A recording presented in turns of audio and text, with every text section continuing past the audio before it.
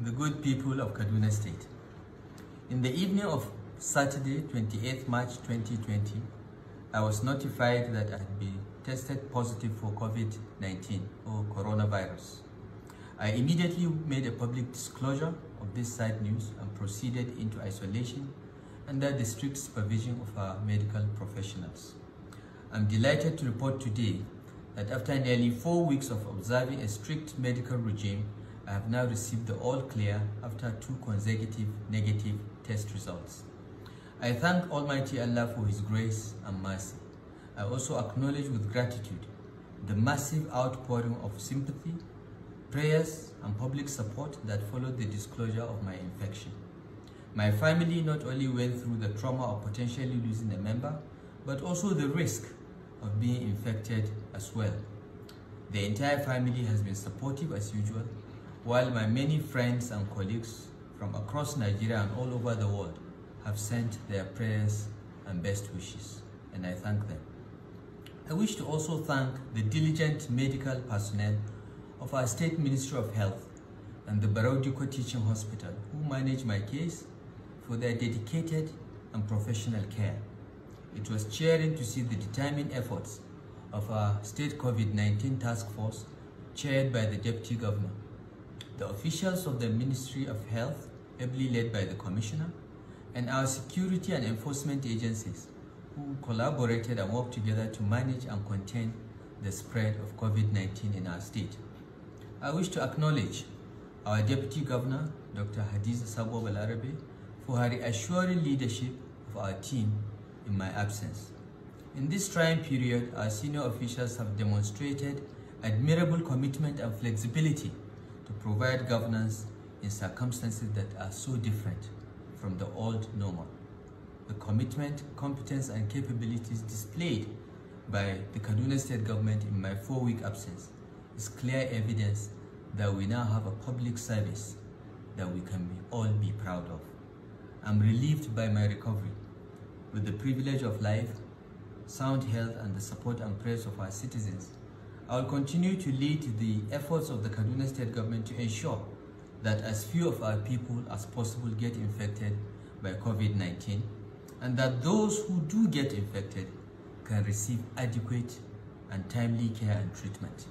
Our emphasis is rightly on prevention because it is the prudent thing to do to save lives given the limited capacity of our health system.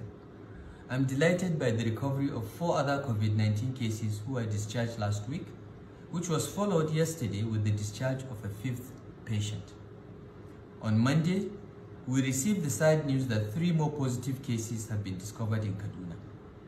They will receive the best care that our dedicated health professionals can muster, and we wish them speedy recovery from COVID-19.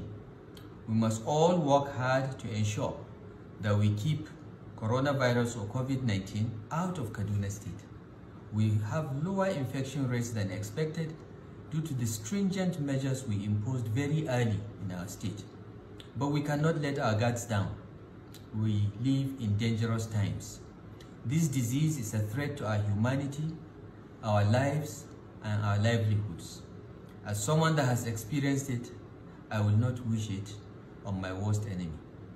We must reiterate that an infected person can show no symptoms as I did for up to two weeks, while unknowingly infecting others close to him or even through casual contact. That is why mixing with many people is not a good idea anymore.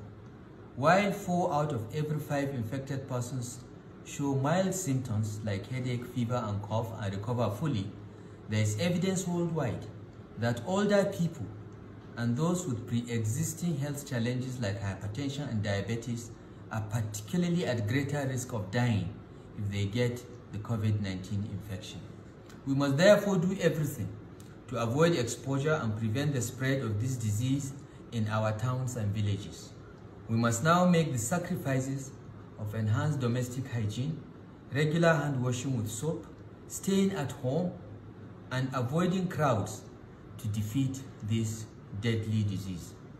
Let me conclude by informing the citizens of Kaduna State that I have issued a further amendment to the quarantine regulations requiring everyone in the state henceforth to wear a face mask when going out of the home or workplace for any reason. The state government is going to make these masks available free to the poor and vulnerable groups and if possible to each and every citizen of the state. And encourage everyone that can afford it to get their neighborhood tailors to sew cloth masks for their use.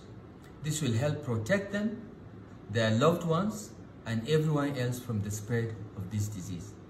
Once again, I, we appeal to everyone to stay at home, observe social distancing, avoid gatherings of more than 10 people, and wash our hands with soap and water regularly.